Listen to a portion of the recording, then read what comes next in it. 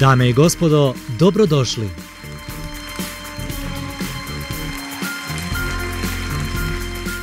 On je naučnik, istraživač ili jednostavno guru bosanskih piramida. Naš gost je Semir Osmanagić. O jogi, meditaciji i mentalnom zdravlju govore Medina Dedajić i Ada Vuk. A neke od najljepših kompozicija iz svog repertoara izvode članovi Akademskog kulturnog centra Selja. I ovog petka iz studija BHT1 pozdravlja vas Maja Miralem.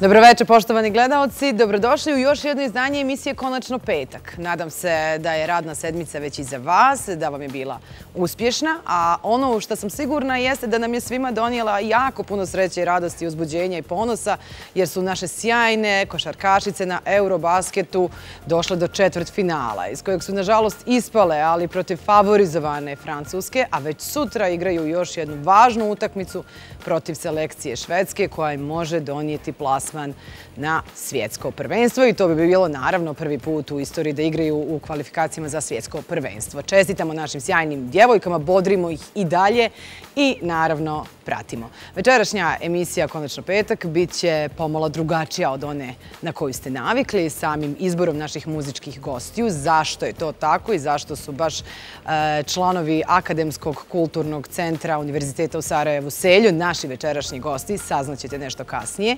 A kao što ste čuli u najavi, e, o dosta toga pozitivnoga što radi za svoju zajednicu, za Bosnu i Hercegovinu u cijelosti i za sve nas i način na koji promoviše našu zemlju, razgovarat ćemo sa guruom bosanskih piramida Semirom Osmanagićem. Nadam se da je ovo dovoljno razloga da i narednih sat vremena budete uz program televizije Bosne i Hercegovine. Na samom početku Seljo i dobroveče, dobro nam došli.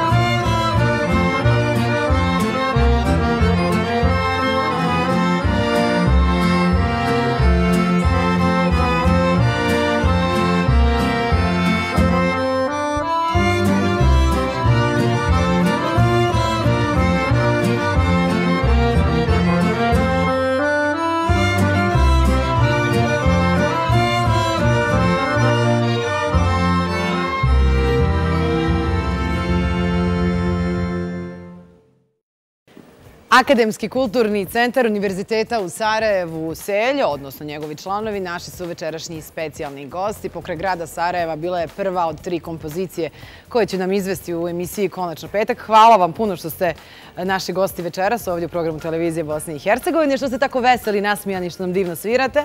A o razlozima zašto su oni tu, razgovarat ćemo nešto kasnije. Dakle, imate dovoljno razloga da budete uz nas. U najavi ste čuli, on je guru bosanskih piramida, on je naučnik, istraživač, on je autor i veliko mi je zadovoljstvo da je čovjek koji je sigurno u fokusu ne samo bosansko-hercegovačke, nego i regionalne, ali i evropske i svjetske javnosti ovih dana, mjeseci, ali proteklih eh, godinu dana eh, sa nama večeras u emisiji Konačno petak, Semir Osmanakić.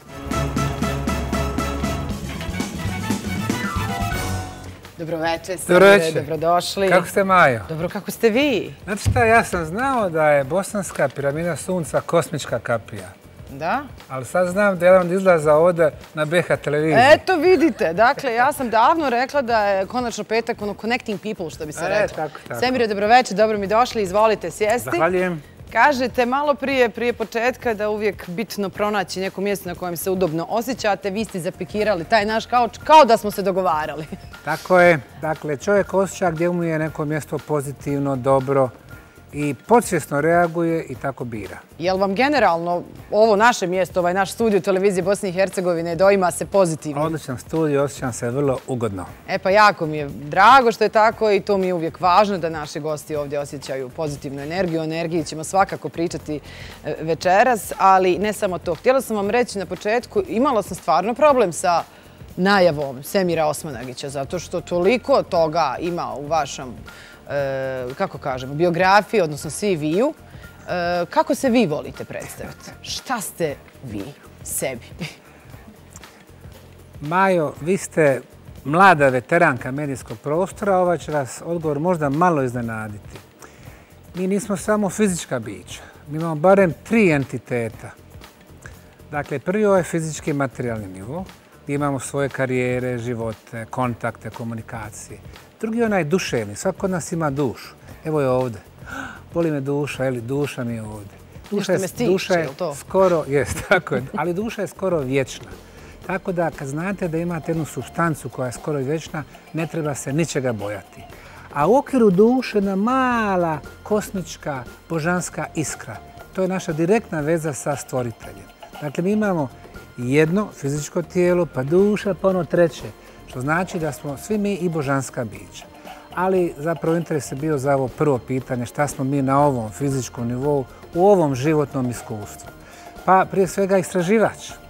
Jer bez obzira koliko godina imamo, 17 ili 77, mi moramo biti uvijek otvoreni za nova znanja, nove informacije i onda sa tim informacijama mijenjamo ono što se prije pisalo do čega smo došli. I to je upravo ono što mi radimo u Visokom, A ja se inače bavim po najviše svim piramidama svijeta, kamenim kuglama svijeta i megalitnim lokacijama na svih šest kontinenta. E vidite, kažete da istražujemo e, stalno i konstantno i oni koji vas možda prvi put vide, iako su, vjerujem, rijetki, ali šta možda ovi najmlađi, e, kažu, odnosno saznaće i kroz ovu emisiju da ste vi očito vrlo, vrlo uspješni u tom vašem istraživanju, ne samo za sebe ili kako vi volite reći ovo zemaljsko biće, nego i za cijelu zajednicu, za cijelu zemlju. I sad, toliko ima pitanja, pa ću pokušati da krenemo od onoga što se desilo prošle godine. Dakle, u jeku pandemije koronavirusa, kada smo izgubili nadu za svim, borili se za živote, za zdravlje, pa kada smo nekako već naučili živjeti s tim, onda smo počeli naravno razmišljati o ovom materijalnom, o egzistenciji, kako opstati, kako nastaviti dalje, od čega ćemo živjeti kad sve ovo prođe. Semir Osmanagić i njegova ekipa u Visokom prave pravi medijski boom, to jest, ispravite me ako griješim, evo je da kažemo i u ovom nekom e, marketinškom smislu, jedan ono, pravi marketinški bum i odličan biznis potez. Je li to zaista u neku ruku i bio biznis potez da dolaskom najvećeg e, i najboljeg tenisera na svijetu, Novaka Đokovića, napravite ovo o čemu sad svi pričaju? Pa, dominantna ideja je bila da se nas dvojica sretnemo, da razmenimo iskustva, volimo zajedničke stvari, o njima razmišljamo. On voli teme kao što su drevna historija i to istinita historija ljudskog roda, historija Balkana. On voli teme kao što su tesline energije, čiste i besplatne energije, drugačiji koncept energije koji bi promijenio revolucionarno naš svijet. On voli stvari kao što su nutricionizam, zdrava ishrana, meditacija, duhovnost, a to sve ono što mi i praktikujemo ovdje. To je bio razlogom što nas je on već godinama pratio, zbog čega nam se i javio i gdje smo se vrlo brzo razumjeli. Njegove tri posjete u posljednjih godinu dana Bosanskoj dolini piramida su prvo vrlo afirmativno odjekljene u svijetu i složio bi se s time da je to izazvalo veliki medijski interes koji se opet odrazio i na posjete našim lokacijama. Prošle nevesele 2020. godine, korona godine, kada je između ostalog turizam u svijetu pao za 80%, ugostiteljstvo, transport, sve druge industrije, mi smo imali rekordnu godinu. Imali smo 70% više posjetilaca. A ova, 21. će ponovo biti rekordna. Dakle, za razliku od onih koji traže opravdanja zašto nešto nisu napravili, mi tražimo kreativna rješenja kako da budemo drugačiji, unikatni i uspješni. Ja znam da zapravo ljudi koji čak možda i nisu toliko pratili tenis, eh, da su počeli pratiti tenis nakon Novakove posjete i navijali su daj da osvoji ovo, daj da osvoji ono, jer će onda svi reći, vidiš ti, ima to nešto u tom visokom i to će donijeti neki turizam, neki prosperitet i tako dalje. E, pa između ostalog, evo ga i to, dobili ste vi nove posjetitelje, a on je dobio i nove navijače i pratitelje tenisa. Upravo sad gledamo neki od inserata, imamo ih puno jer ekipa televizije Bosne i Hercegovine je u više navrata išla u visoko. Možete li nam ukratko, iako sad baš ne možemo da steknemo mi dojam, e, koja faza posjete je upravo ovo? Nole, ne samo da je neustrašiv na teniskom terenu, nego vidite kako se sad nam zavlači u neistražene i obično sekcije tunela koje nisu posjećene. Provlačili smo se prvo kroz hladnu vodu, zatim ispod različitih stijena i onda na 40 metara dubine ispod nivoa zemlje, na stotine i stotine metara od ulaza, uspjevali smo imati posebna iskustva. Jedan od onih koji je zapravo postao njegov navijač sam i ja. Ja decenijama nisam pratio tenis, ja sam mhm. to igrao košarku, mhm. ali njegovi dolasci ovdje su pobudili u meni želju da i ponovo jednu strast, da za nekog navijam u tenisu i kod njega čovjek može lako da prepozna prvo raskošan talent, drugo neverovatnu tu želju da trenira upornost i na koncu nepokolebljivu vjeru u samoga sebe. Kad bi svi drugi odustali, on vjeruje u sebe i zato pravi zaokrete tamo kad svi misle da je sve gotovo. I zbog toga je broj jedan i znate, ispričao mi je kad je bio sa Jelenom kod mene i Sabine kući, kaže, on je sa 17 godina odšao da upozna Jelenine roditelje. I on im je rekao, ja sam Novak Đoković, budući svjetski prvak u tenisu. Dečko, 17 godina. On kao da je znao da je predodređen, da ima te potencijale da osvoji vrh, ali je mentalno bio spreman da će taj vrh i osvojiti. I to je ono što mnogima nedostaje. Imaju talent, rade uporno, ali nedostaje im ono ona jedna psihološka prevaga nad drugima, a on to posjeduje. I kažu stručnjaci, oni koji prate tenis e, profesionalno, da je upravo ta mentalna snaga i prevagnula kada je gubio 2-0 u setovima u finalu Roland Garrosa i rijetko ko bi se vratio na takav način. Ali dobro, još samo kratko, ne pričamo samo o Noletu. Jeste se čuli poslije Roland Garrosa? Mi smo redovno u kontaktu iz različitih razloga i on ima našu podršku, on to zna, mi ga stvarno svi volimo ovdje i njega i njegovu porodicu. Mi ga ponovo očekujemo, on je sam najavio da će biti redovan gost ovdje kod nas na Bosanski piramidama, barem recimo dva, tri puta godišnje i to je divna stvar jer ja očekujem da će on biti i on već jeste možda naš i najbolji ambasador. Mhm. I u jednom momentu kada ga drugi teniseri i sportaši budu počeli pitati za broj Semira Osmanagića, onda ću se ja naći u problemu. Jeste, jeste. Bilo je puno šala na Facebooku, na društvenim mrežama poslije osvajanja Roland Garrosa, vjerujem da ste i vi vidjeli. Sad ste spomenuli da ste vi pratili, odnosno igrali košarku i tu svakako logično pitanje ima e, košarkašice, kako ste došli do njih i one su bile kod vas, ili da? Košarkašice ne. A ne? Pričali smo sa razom, bili su odbojkašice. A, koje su odbojkašice, također da, izvanredno srebro, igrale. srebro, da, Izvanredno igrale su u Sloveniji. Pa to ima više sportista stvarno.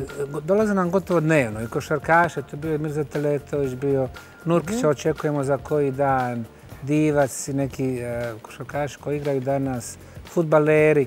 Dakle, ljudi dolaze i ima dobrih razloga za to. Naime, u našim tunelima malo je priprikazana sekcija, do duše tamo gosti ne idu to sa vodom. Idu one suhe sekcije. Tolika je koncentracija negativnih iona i one povećavaju nivo kisika u vašoj krvi. Sa više kisika vi ste produktivni. I zapravo je to možete više, svega, da? Možete više da uradite, možete više da trčite, možete da više ostvarite. Nama su bili futbaleri dok je bio trener onaj prosinečki, žuti ga zovu. I došao je sa futbalerima dan uoči utakmice sa Fincima. Sljedeći dan su igrali sjajno, rastrčali, nikad više snage, pobjedili 4-1. Utakmica nakon toga nisu došli kod nas sa Grcima. Nisu naredne 13, nisu Sa došli. Grč, eto, naredne 13. Da. S Grcima i nije To bilo se ništa, vidi. propali su tako dalje. Tako da tu ima, recimo, to se može naučno stvarno i pokazati. I druga vrlo važna stvar, negativni oni ubijaju sve mikrobe, a mikrobi su virusi, uključivo koronu, bakterije, gljivice.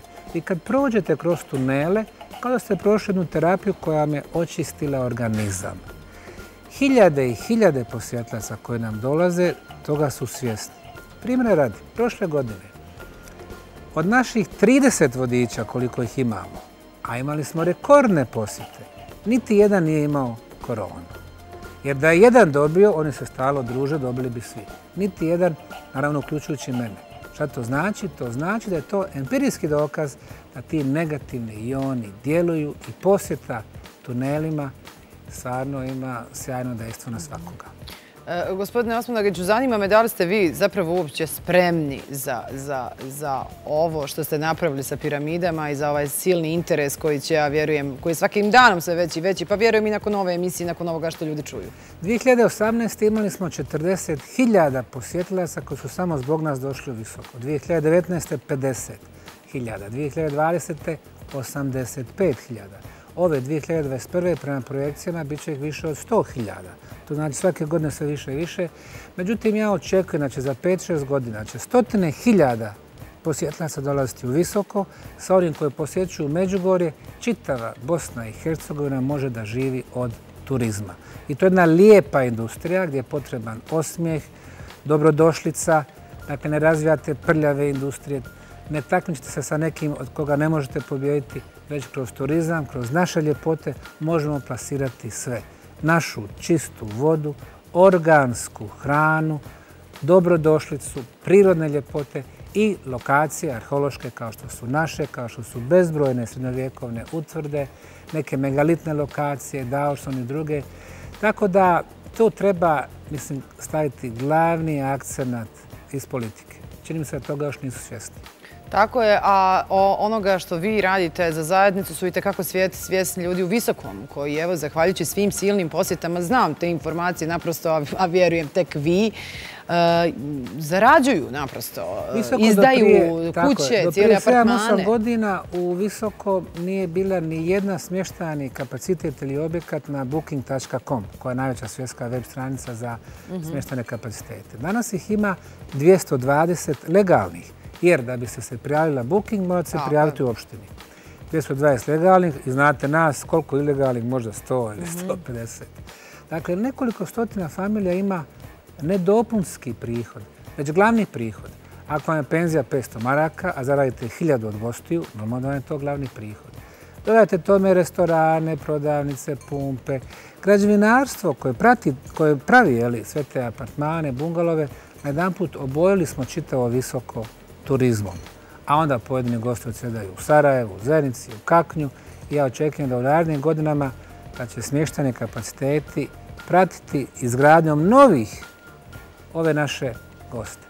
Ono što moramo uraditi to je kod turističke infrastrukture zajedno sa gradskom upravom, zajedno sa vladom Zedo kantona, malo šire pute, malo više parkinga, malo više restorana, malo više dakle, te turističke infrastrukture i to će se vrlo brzo vratiti natrag.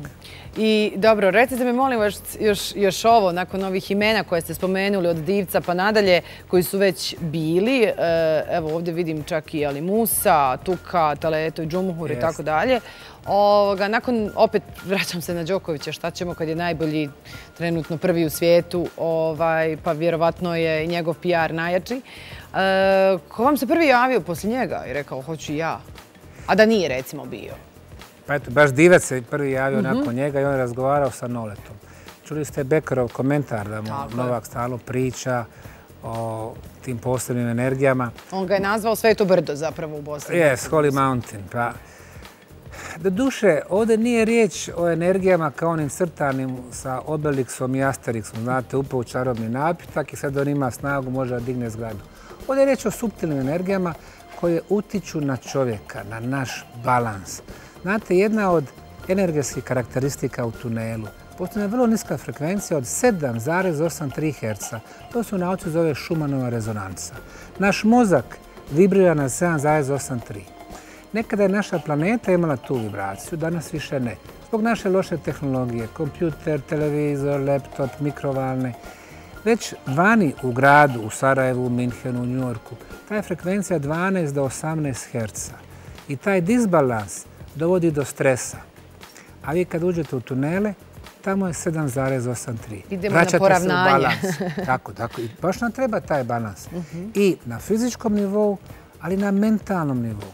Nevjerojatno koliko ljudi pokazuje zadovoljstvo, neki duhovni mir i spokoj nakon posjete tunelima. Ima dosta posto COVID pacijenata koji, znate, nakon COVID-a prvo ne mogu da dišu kao nekada, kod nas prodišu, i nekako su bezvoljni, nemaju motivacije. Ne. Nakon postoje tunelima vedri i raspoloženi. Dakle, dešavaju se interesantne stvari, mada ja uvijek kažem, naša fundacija se ne bavi liječenjem, niti daje zdravstvene garancije, ali vrijedi svakome doći i vidjeti Vrijedi probati, zašto da ne? A recite mi sad s ovog aspekta, mislim, mogu li ja biti tamo par dana da ne izađem nikako? Ili moram dolaziti svaki dan? Ono što mi preporučujemo, to ako već čovjek ima određenu tegobu... Mislim, stalno nešto guši, ja to osjećam. Pa, evo, danas sam se sreo, e, kad sam izlazio iz tunela, Đorđe neki iz Doboja, kaže Đorđe, on stalno ima ove upale sinusa, deseta godina. Ušao je u nedelju u tunele, izašao, po prvi put je prodisao normalno. Danas je došao ponovo iz Doboja, pet dana poslije, i kaže, ta se takoba nije javila. Ono što ljudi obično rade, to je resmo dođu na 3, 5, 7, 10 dana ili čak na jedan dan i uđu možda dva puta dnevno, po jedan satić. Prodišu, posvete se sebe, zaborave na stres i na sve što ih ogružuje i znatno naprede svoje stanje. Tako da jeste preporuka svakome. Jedan put je dovoljno, vi suprug na primjer, a možete sedam dana... A što ako suprug stvara stres, onda da ga ostavim? Ali sad ću reći. Mislim da ja dođem sama bez njega. Kad vam suprug diže pritisak na 180 kroz 120, uđete u tunel, izađete 120 kroz 80. U svakom slučaju dolazimo zajedno. I Semire, e, to su čari našeg mentaliteta. Naprosto osporavani ste vi. I od 2005. čini mi ste kada ste krenuli u ovo istraživanje, u ovu avanturu, jeste li mogli zapravo sanjati da će to doživjeti takve razmjere ili ste i tu bili kao Novak? Znali ste da jednog dana to dolazi? Ja sam, kad se osvrnem na svoj život, očigledno bio pripreman. Ja sam živio u Americi 20 godina prije dolaska u visoko otkrića piramida i iz Amerike sam radio svoju doktorsku disertaciju o piramidama civilizacije Maja. Znate, od Houstona, iz Teksasa, pa do Belize, Guatemala, Honduras, Salvador, Meksiko, to je sat i pol leta. Ja sam stalno bio u tim prašumama i jako smo te piramide i hramove interesovali. Pa sam proširio interesovanje na Peru, Boliviju, Kinu, sve zemlje sa piramidama. I moj dolazak ovdje kad sam prepoznao bosansku piramidu sunca kao vještačku strukturu, znao sam da je najveća na svijetu. Pretpostavio sam tad i da je najstarija na svijetu, što se i pokazalo. I znao sam da ćemo promijeniti knjige istorije. Moje prve izjave i 2005. i 2006. moje prve knjige objavljene upravo o tome govore. E sad, da li sam znao da će biti ovakvi otpori? Vjerovatno nisam. Jer znate, dotad sam bio u Americi, imao sam svoju firmu koju još uvijek imam, putovao sam svijetom, čak sam i tad pisao knjige, imao sam deset knjiga do tada napisani, ali to je bez neke velike odgovornosti, niko vas ne napada, ne osporava. Onda dođete ovdje, vratite se u Bosnu, trošite svoj novac, svi vas napadaju, a najčešća rečenica, on došao u Bosnu da zaradi pare. Ja, tro, ja sve pare potrošio. I, ova, I na jedan put ono što je meni toliko očigledno, Mjesto da vas ljudi podupru, da stanu iza vas. Na jedan put svi protiv vas. Kompletan kulturni establishment, arheolozi, geolozi, historičari, muzeji, ministarstva kulture. Pa, mislim, nama ne ide u glavu. Radite dobru stvar za zajednicu, za budućnost i tako dalje. Onda shvatite da u stvari u svemu ima jako puno politikanstva. Ali to na stranu. Mi smo uvijek orijentisani vedro, s optimizmom. Oni koji nas napadaju ostaju negdje iza nas. Znate ono, psi laju. Karavani prolazi. Tako. Semirje, hvala vam puno što ste bili gost emisije Konačno petak. Nekako sam željela da ovu e, sedmicu u kojoj su nam naše sjajne košarkašice donijele toliko radosti i evo, još uvijek navijamo za njih e, i sutra, da je zaključimo sa upravo tim nekim optimizmom, sa pozitivnom pričom, e, a ono što vi radite, kako god drugi i šta god mislili, i tekako nam e, donosi osmijehe na lice i čini nas sretnima samim tim što ljudima pomaže. Hvala vam puno. Hvala vam na pozivu i doćite nam. Doćemo svakako i evo, e, pratit ćemo ko će vama doći. Može tako. Hvala vam puno. Semir Osmanagić, e, autor, istraživač, naučnik i kako smo ga najavili, tako ćemo ga i odjaviti. Guru bosanskih piramida. Bio je gost emisije Konačno petak. Pravimo kratku marketinšku pauzu i vraćamo se.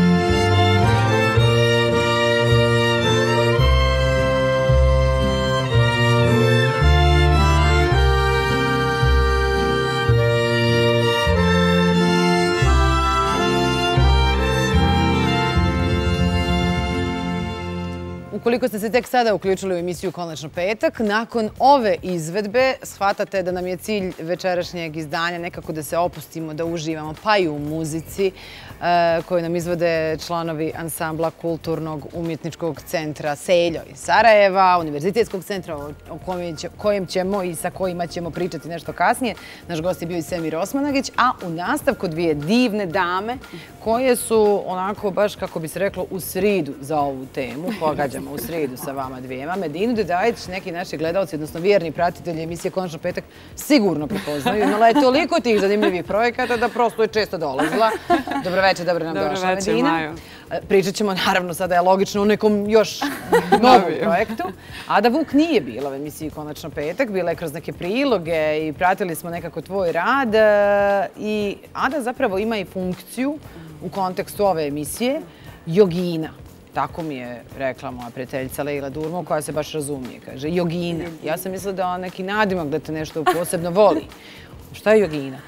Pa jogina, u stvari, to se označavaju osobe koje se naravno prvenstveno i bave jogom, ali e, koji nekako i žive jogu kao svoj životni stil i naviku. I naravno, ako to prepoznaješ kao svoj nekako način življenja. Nama je nekako bio cilj ove večerašnje emisije da pričamo malo o tim nekim stvarima koje nam u svakom slučaju pomažu da razvijamo neku pozitivnu energiju, da napravimo to kako je malo prije Semir Osmanagić rekao, neko poravnanje unutar sebe, da se pobrinemo o našem mentalnom zdravlju koje je sigurna sam nam potrebno više nego ikada nakon ove pandemijske godine, nakon svih stresova, neizvjesnosti koje smo preživjeli. Još uvijek preživljavamo nekoj manjoj mjeri, ali možda i da se tokom ovog ljeta pripremimo za e, obnovu te energije, za neke nove ratne pobjede kada ćemo konačno, ja se nadam, proglasiti krajeve pandemije. E sada, Medina je tu bila kada je govorila i radila jedan sjajni projekat, obilazila je najme sve neke moguće restorane u Bosni i Hercegovini, u Sarajevu, pravila je gastrovodič, koja je bila sjajna neka preporuka i za neke strance, za turiste. Evo, to se sve nekako nadovezuje na ovo o čemu je gospodin Semir Osmanagić malo pripričao.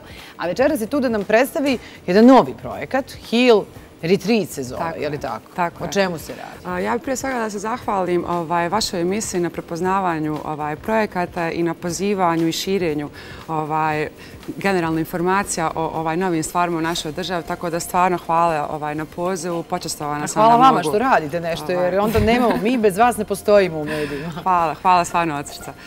Ja sam Heal Retreat Sarajevo Food Dictionary, moj prošli projekat, i on je još uvijek na pauzi, budući da ugostiteljski sektor je stvarno doživio i pretrpio velike, velike štete i još uvijek čekamo da se oporavi, da se situacija malo, što kažeš i ti, skroz smiri, pa da možemo ponovo da krenemo sa eventima i sa druženjima. Ovaj, Ovaj, ali prošla godina je lično bila meni veliki E, veliki preokret. Ovaj, shvatila sam da u suštini e, jako malo je potrebno da bi ja dosegla upravo tu ovaj mir i ovaj unutrašnju neku stabilnost o kojoj pričamo, koja nam je svima jako potrebna ovaj, nakon svih dešavanja koje se desilo prošle godine.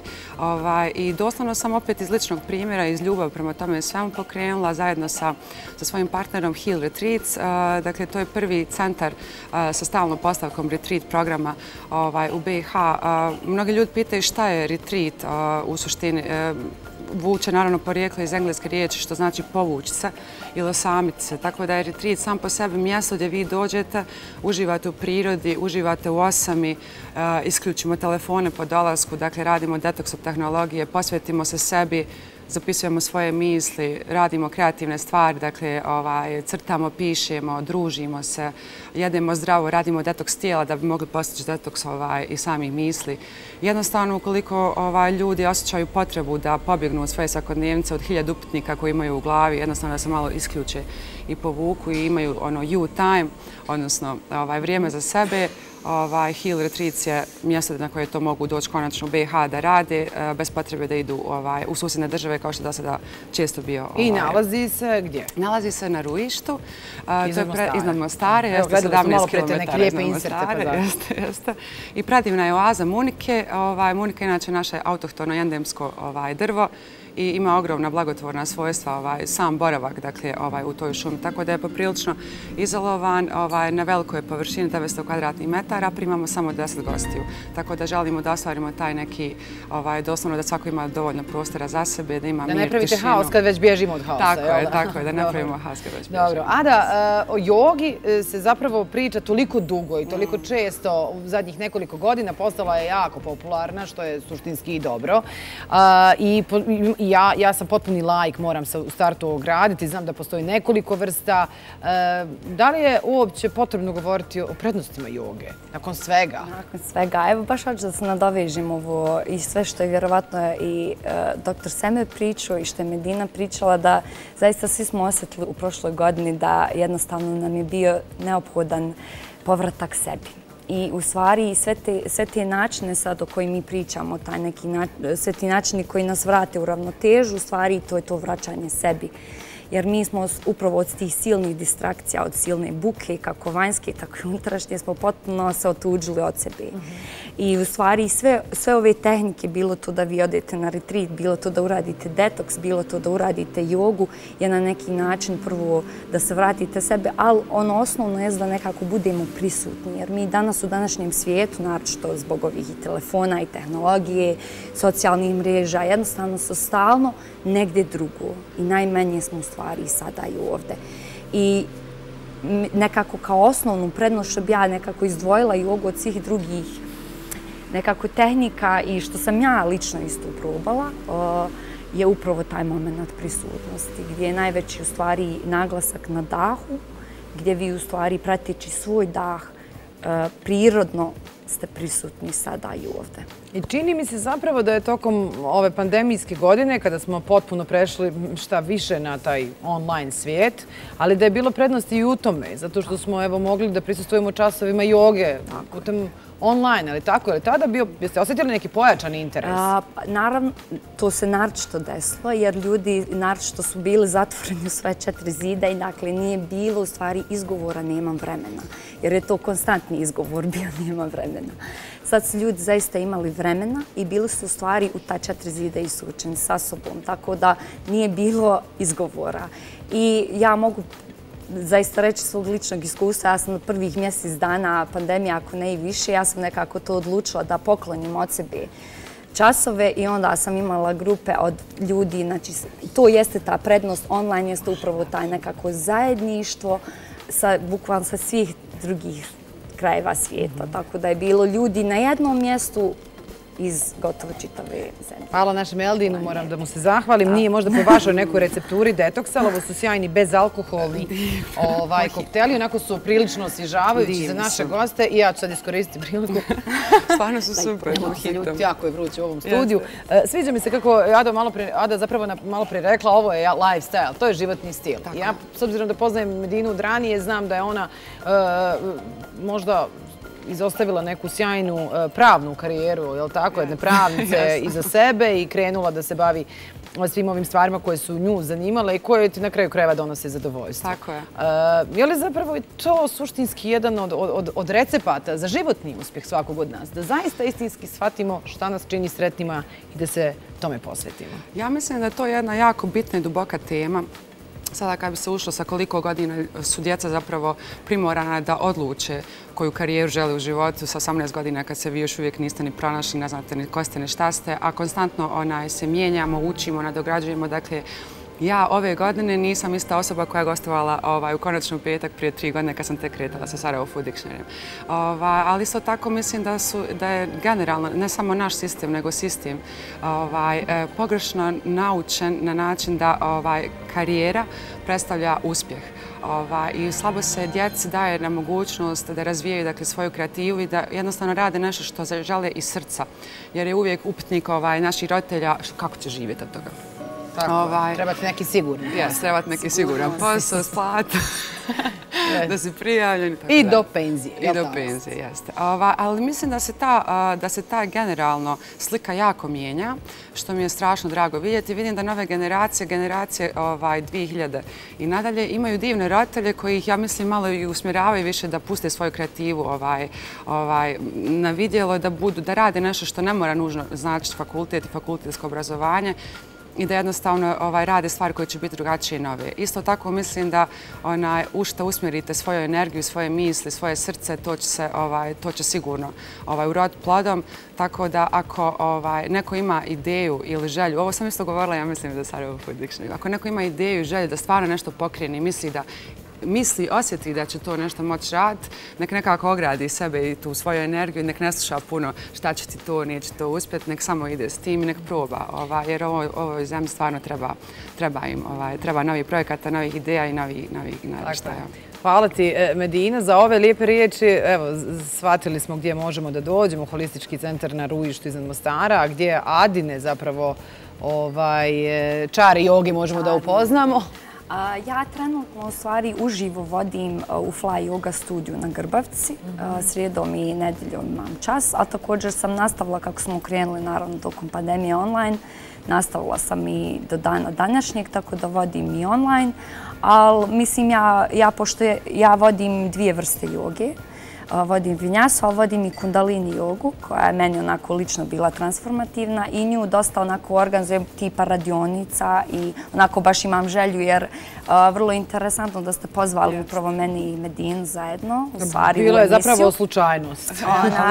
Jer nas dvije smo se upravo iz te želje, stvari nas sami za nekom kreacijom smo se ispojile i Medina sad kako je ovo otvorila, zaista nam je svima nekako otvorila vrat da imamo jedno mjesto gdje možemo u stvari organizovati ta okupljanja ljudi, a pri tome i da naravno i radimo i jogu, i izjedimo zdravo, i slušamo jedni drugi, na kraj krajeva slušamo sami Eto vidite, spojile su se nekako energije i u organizovanju u emisiji, sasvim slučajno, ali drago mi da je tako, a valjda zbog toga, zbog same namire. Namira je bila da upravo večeras na samom kraju jedne radne sedmice za većinu, jeli, ovaj, da predstavimo i neke pozitivne priče, pozitivne projekte. Hvala vam, drage dame, djevojke što ste bile moje gošće u emisiji Konačno petak. Hvala puno na Evo, znamo gdje ćemo vas naći i tražit ćemo vas. Biće nam E, potrebno. E, a kad smo kod dobrih priča, ove sedmice je jedna lijepa priča za bosansko-hercegovačku kinematografiju. Naime, BH Content Lab je nova platforma BH Telekoma. E, na mojoj TV ćemo uskoro imati priliku da gledamo sjajne projekte, televizijske serije,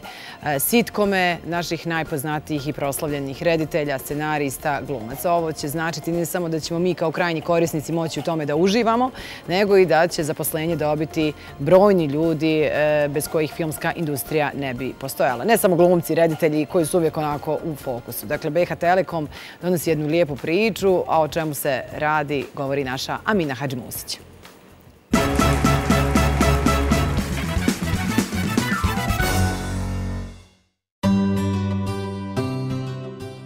BH Telekom ozvaničio je početak saradnje sa domaćim producentskim kućama i rediteljima sa kojima će u narednom periodu putem platforme BH Content Lab zajednički realizovati snimanje nekoliko domaćih igranih TV serija. Mi smo danas predstavili sedam igranih serija. E, u okviru početka Sarajevo Film Festivala, otvaranja Sarajevo Film Festivala, ćemo objaviti javni poziv koji će biti kontinuiran. Ulaganje u kontent BH Telekoma predstavlja strateško ulaganje i mi smo spremni naravno i za koprodukcijske projekte, prije svega sa javnim servisom, BHRT-om, Federalnom televizijom i ostalim, tako da vjerujemo da je ovo izgradnja jednog potpuno novog ekosistema na izgradnji, to jeste proizvodnji kontenta u Bosni i Hercegovini.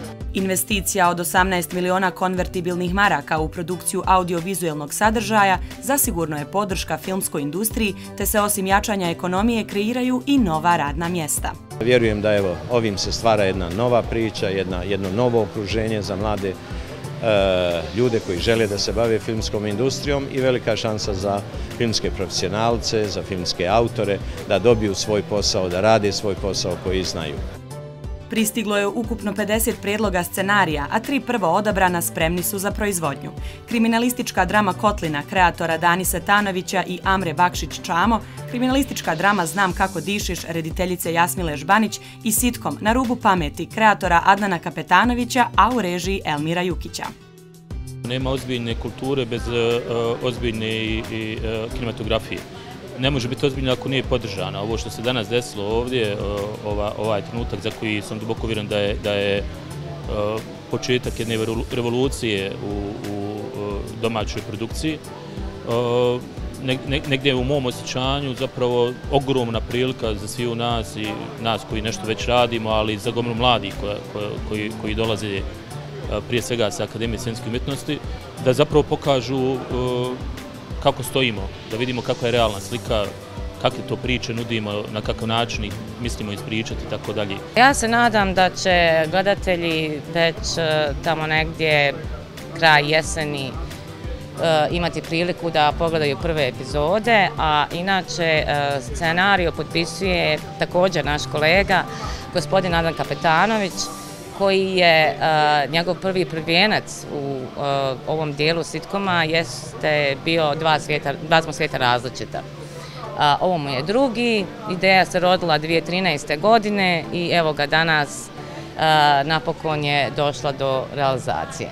Ovo će naročito značiti producentima i scenaristima, a kako kažu naši sagovornici, za njih ovo znači da će imati puno posla što ih posebno raduje.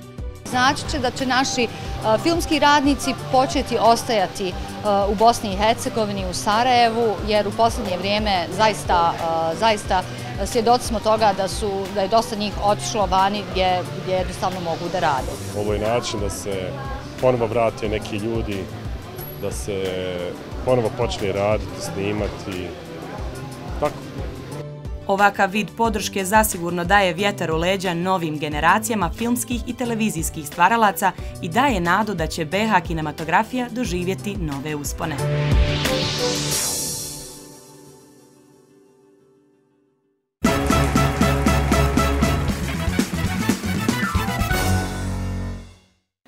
I pred sami kraj našeg večerašnjeg druženja u emisiji Konačno petak, posebno je zadovoljstvo što ću razgovarati sa mojim gostima ispred Akademskog kulturnog e, centra Univerziteta u Sarajevo Seljo, koji su naši specijalni muzički gosti danas u emisiji Konačno petak. Zašto je to tako? Razgovaram sa Sabinom Turabijom, zapravo šefom orkestra, je li tako? I sa Dževadom Korodićem, direktorom ovog centra Seljo. Hvala vam lijepo što ste večeras ovdje sa nama. Članovi vašeg ansambla mi se onako smješkaju. Drago mi je da vam je lijepo kod nas i hvala vam za ove prekrasne izvedbe danas u emisiji Konačno petak. Pa evo, ne znam, ko će prvi da riješimo ovu enigmu? Mi smo navikli naše gledatelje da ovdje imamo band muzičke produkcije BHRT-a, ali pošto vi imate neke vrlo lijepe vijesti za nas, a bili ste ovdje prije dvije godine kada smo slavili 70 godina vašeg postojanja. Evo da pričamo zašto ste to večera svi specijalni muzički gosti. Pa, eto, ja ću malo početi. Prvo, hvala BH televiziji, hvala tebi, Majo, što nas zoveš ovako, da kažem, često mi se odomaćili ovdje, pa eto, svake dvije godine otprilike... Pa nije, ajde da onu prošlu i ne računamo, ništa se nije dešavalo. Ali u svakom slučaju hvala vama na pozitivnim pričama. Cilj ove ovaj. večerašnje emisije između ostalog jeste i pa to da promovišemo dobre priče. Priča Seljo je već 72 godine, znači bili smo onu godinu pred ovaj, proslavu naših 70 godina, sad već 72 godine. Ako računamo i ovu godinu, 15 mjeseci e, do sadašnje pandemije, e, priča Selje, kao što rekao, je priča od 70 i nešto godina i ovo je samo jedna od generacija Selje koje su diljem svijeta proslavili Selju, stvarali, učestvovali u stvaranju Selje i one generacije 60. i 70. i 80. i 90. i 2010. i evo sad 20. E, razlog našeg dolaska večeras ovdje da odmah pređemo na stvari i e, prvo gostovanje posle izlazak iz Bosne i Hercegovine, posle evo nekih 20 mjeseci. Naime, e, obradovala me vijest kad me direktorica festivala Lent u Mariboru, na kojem je Seljo bio već dva puta. To je jedan veliki internacionalni festival koji se održava svake godine u trajanju od mjesec dana i u sklopu tog e, festivala Lent je festival Folk Art kao e, jedan dio koji je posvećen folkloru. I mi smo bili zadnji put 2015. godine i direktorica Lenka, odnosno glavni producent festivala, me prije 15-20 dana zvala ko biste li vi došli? Kako ne bi došli kad nismo 20 mjeseci Dajte, samo da izađemo. makli. Daj, daj da samo. I bilo je stanoviti problema. Ima još uvijek problema da se razumijemo. Razni, to je veoma, veoma kompleksno je sad otići negdje. Tako je. Znate, mi smo radili turneju u Americi mjesec dana, pa mi je bilo lakše to organizirati. U Kinu smo išli. Norešku, Švedsku, da ne govorim ove, ove zemlje ovaj, evropske. Međutim, ovo je sad veoma komplikovano, ali eto, privodimo sve kraju. Nadam se, nekako smo zaklopili i finansijsku konstrukciju. Sve te razne dozvole treba još malo testove neke da uradimo i tako dalje. Ovaj, I nadam se da ćemo u srijedu 30. ujutru sjest na autobus koji je već naručen, jel, ovaj, naši Karpovići prevoznici, on smo već smo i naručili i oni će doći i onda idemo da pre, zvanično kao predstavnici Bosne i Hercegovine, odnosno našeg grada, kantona, Sarajevo i tako dalje. Mhm, dobro, evo ga, Dževad kao pravi direktor bavi se ovim organizacijonim stvarima, mhm. administracijom i svim onim što je tekako potrebno, a vi, Sabrina, ćete mi sigurno sam reći nešto više o samom programu koji pripremate, šta ćete mhm. to izvoditi? Pa, Naša prva turneja 2015. godine isto bila na ovom festivalu u Mariboru, tako da se baš radujemo da ćemo opet e, učestvovati na tom festivalu. E, naime, mi e, kao orkestar idemo da budemo pratnja našem ansamblu pjesama igara, tako da ćemo ovaj, zajedno sa njima da izvedemo tri koreografije, a isto tako mi pripremamo jedan blok numjera u vidu intermeca koji ćemo odsvirati za njihove potrebe preslačenja, promjene kostima i tako. Mhm. I sad, e, to uvijek volim pitati kada su ovako značajni sastavi u pitanju, e, šta ljudi koji nas trenutno gledaju, slušaju, šta mogu učiniti da nekada postanu članovi zapravo vašeg? Šta je potrebno? E, koje kriterije zadovoljite da postanu članovi vašeg društva? Ta stvar, postati član selje je u stvari veoma jednostavno voljeti kulturu, neki od segmenta kulture, imati malo sklonosti prema tome, jel? Morate nešto voljeti da biste nešto uspješno i radili ovaj, odmah da kažem, u selji se ne plaća ništa ako ste član. Ne znači, nema članarne. Jedina ustanova smo sigurno koja, koja se bavi sličnim stvarima i, i, i ovaj, ne naplaćujemo ništa, nikakvu članarinu. Dođete, prijavite se na naše audicije koje su stalno otvorene. Znači, bilo da je to orkestar jedan, orkestar drugi, pozorište, likovni atelje, ansambl igara mhm. pjesama, hor jedan, hor drugi, vokalni ansambl prijatelji, vokalni, ženski vokalni ansambl Korona i tako dalje. Znači, dovoljno je da se izađete na naš e, Facebook stranicu, pogledate kada su probe, javite se na odgovarajuće telefone, dobijete upute kome da se javite i sve ostalo je onda ovaj, lagano. Mhm. Jedna kratka audicija koja nije ništa, nemojte se plašiti toga ništa nije teško, dođete i postanete član selje, a onda iza toga se otvaraju... Samo nebo je granica, jel da? Jeste, samo je nebo je granica. Hvala vam puno, Dževade. Hvala što ste, evo kažem, na neki način i osvježili našu emisiju Konačno petak. Potpuno drugačiji muzički ugođaj ste nam priuštili. E, I recite, šta ćete svirati zapravo, Sabina, za kraj? Šta ste odebrali? Za kraj e, ćemo svirati Crven Festić. Crven Festić za kraj. Hvala vam lijepo. Evo, možda da vas zamolim da odete do scene, e, jer privodimo kraju i naše večerašnje druženje u emisiji Konačno petak. Dževade, još jednom hvala vam. Puno sreće vam želimo na jednom od najpoznatijih festivala u Evropi koji se dakle održava na koji, zapravo na koji krećete 30. Dakle, sljedeće sedmice krećete. Želimo vam puno sreće. Ne sumnjamo da ćete nas kao i uvijek dostojanstveno i sa ponosom predstavljati kao državu, je li da? Hvala vama još jednom Mi donijet ćemo ako ništa kakvi dobri foto sa zapisa muzički, tako da vam damo da, da možete upotrijebiti ako ništa. Hvala vam puno, vrlo rado. Poštovani gledaoci, došli smo do kraja još jednog druženja u emisiji Konačno petak. Nadam se da vam je brzo proletjelo ovih sat vremena i da ćete biti sa nama idućeg petka eh, od 20 sati. Doviđenja.